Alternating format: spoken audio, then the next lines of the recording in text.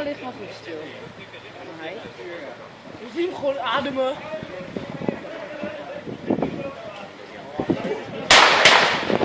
Mis.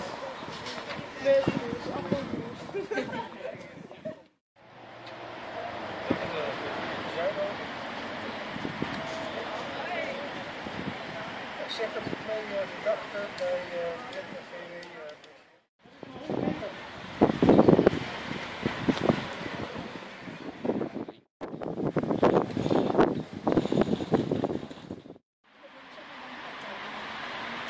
Bank.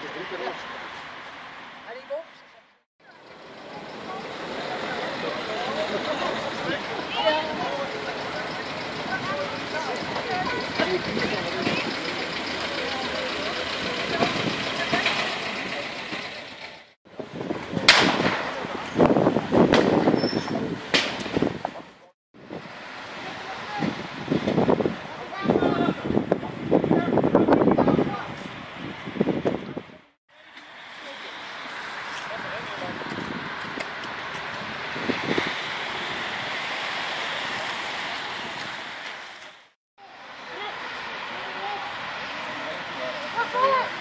Op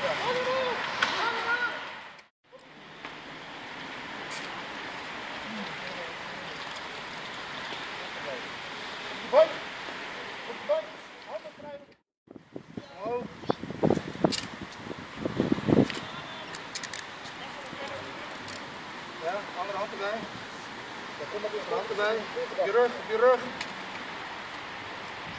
Liggen blijven, voor je kijken.